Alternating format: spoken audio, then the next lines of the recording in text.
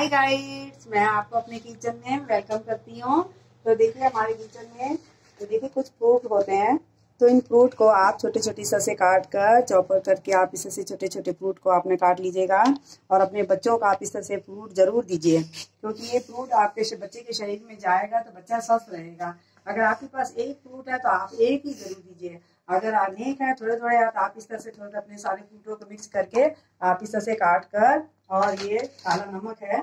ये काला नमक, आप इस तरह से, ये देखिए, काला नमक है। इस तरह से आप काट के, इस तरह से, ऐसे ऐसे नमक आप ऐसे डाल लीजिए।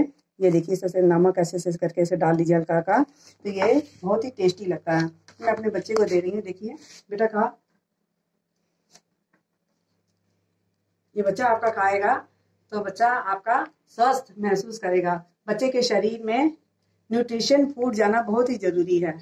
आप अपने बच्चे को ज़रूर दिया करिए। और आपने भी ज़रूर खाया करिए। आप खाएँगे और आपका बच्चा खाएगा तो आप लोग स्वस्थ और तंदुरुस्त रहेंगे। आपको ये वीडियो अच्छा लगेगा। आप मेरे इस वीडियो को ज़रूर लाइक करिए, शेयर करिए। नीचे बेल बटन है, उसको ज़रूर दबाइएगा। ओके? शेयर करिए, लाइक करिए, सब्सक्राइब करिए। और ये देखिए, मैं अपने दूसरे बच्चे को भी दे रही हूँ। तो ये देखिए, मेरा ये बच्चा है। ये देखिए, इसको भी मैं दे रही हूँ। अब बेटे खा। अच्छा लग रहा है? हम्म। अच्छा लग रहा है बेटे? बहुत टेस्टी है। हाँ। Very very very tasty oh. So thank you yummy ये या। बहुत यमी है। अच्छा बहुत अच्छा लग रहा है।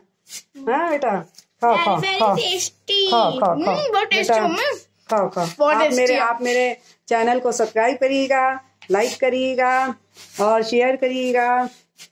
ओके और बेल बटन ज़रूर दबाइएगा और मेरे चैनल को आप आगे बढ़ाइएगा। लाइक ज़रूर करिए शेयर करिए सब्सक्राइब करिए।